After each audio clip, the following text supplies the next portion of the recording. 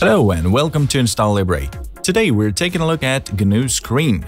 Technically defined as a terminal multiplexer, Screen can be used to run several login sessions from a single terminal, which is useful when running long tasks on remote servers and for other situations.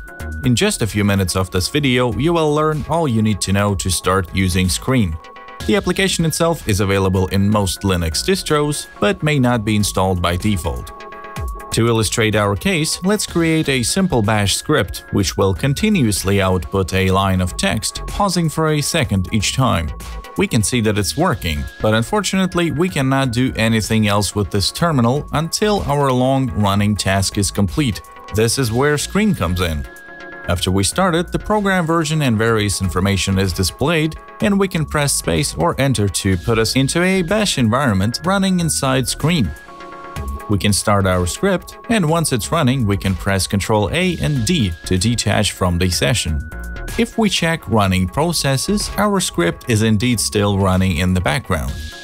We can now issue the screen-r command to return to our active session and watch the progress. Let's stop the script and issue the exit command to terminate the screen session. As you would expect, we are no longer able to attach to any running screen session. When creating sessions, it's useful to provide them with names in order to easily distinguish them later. We do that by running screen with the dash "-s flag and supplying our desired name. Let's run our script and detach from the session with Ctrl A and D.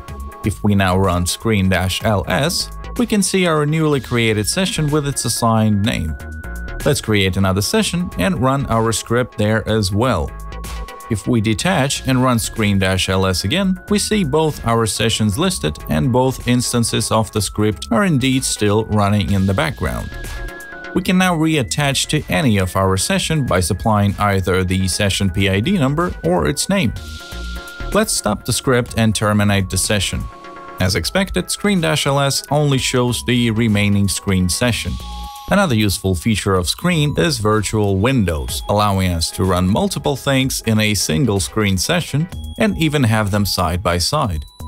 Pressing Ctrl A and S splits our screen horizontally. Vertical splitting is done with Ctrl A and V, but may not work depending on your GNU Screen version. We can switch between split screen regions by pressing Ctrl A and Tab but nothing is running in the second half because at the moment it's only a graphical separation, not a new session. We need to create a virtual window inside the bottom section, and we do that by pressing Ctrl A and C. This creates another session inside our single screen session. This sounds confusing, hence the naming distinction between a screen session and windows inside that session. Let's detach from the entire screen by pressing Ctrl A and D. Reattaching back, you may think that one of our windows has been lost, but only the split screen representation of them has. By pressing Ctrl A and quotation mark, we can see the list of all active windows inside our session and we can easily switch between them. There are many features to GNU Screen. What you have learned in the last few minutes should be sufficient for most needs.